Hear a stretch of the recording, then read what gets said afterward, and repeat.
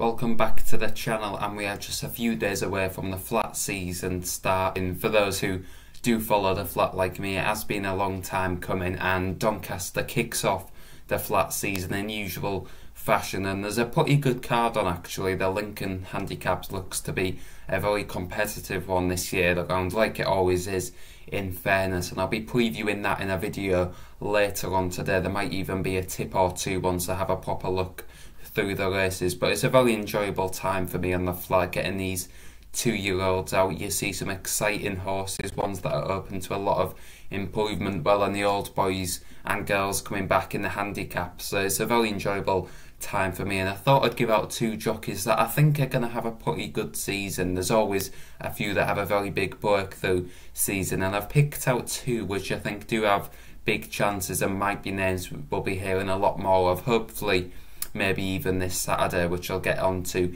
in a minute. But the first jockey is Benoit de la Sayette, who is back from his ban.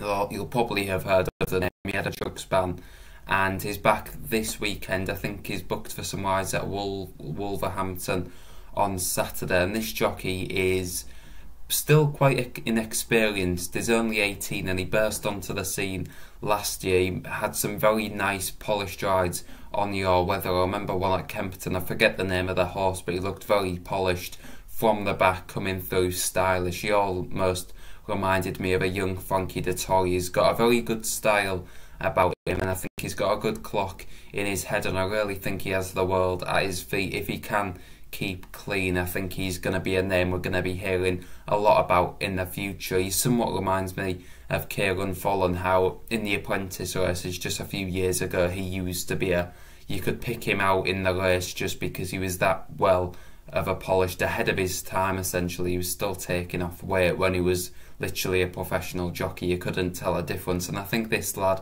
will be the same he's got a very good style as I said and he still takes off a nice claim. So I think he's going to be used by some of the big trainers, maybe in some big field handicaps, and I think he'll be one that we'll be seeing a lot of in the winning enclosure. He's got a partnership, obviously, with John Gosden. Won the Lincoln Handicap last year. Actually, he was the first claimer to win it in a long time. So I think he's one which is definitely worth keeping an eye on. I think he'll get put on some nice horses, and I think he'll deliver.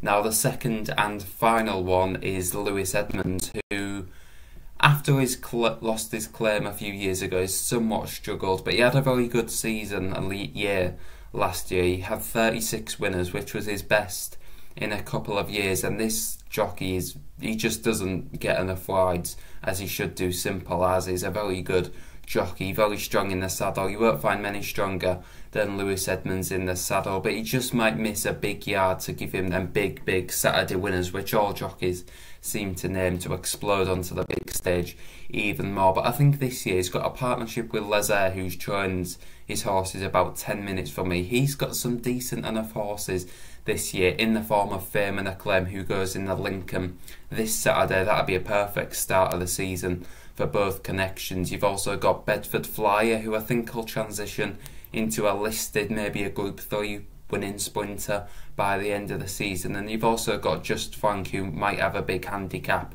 in him as well. So I think he's got a few horses which might just explode him and take him up to the next level. As I said, he's very good in the saddle and he's just missing that one horse which will take him to the next stage. So I think he's definitely one to follow. He's had a decent enough start to the year already, operating at around a 12% strike rate, strike rate, which is slightly better than last year. But this jockey, mark my words, I've watched him a lot just because he often rides the yard, the horses from the yard close to me, and there's nothing lacking from the saddle in the form of Lewis Edmunds. So him and Benoit de la Sayette are two jockeys that I will be following for the flat season. Let me know who your jockey to follow will be in the comments down below. And as always, don't forget to like, subscribe, and we'll see you next time.